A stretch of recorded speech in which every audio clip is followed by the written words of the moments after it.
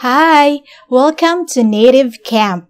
My name is Analiza and I'm a professional licensed teacher.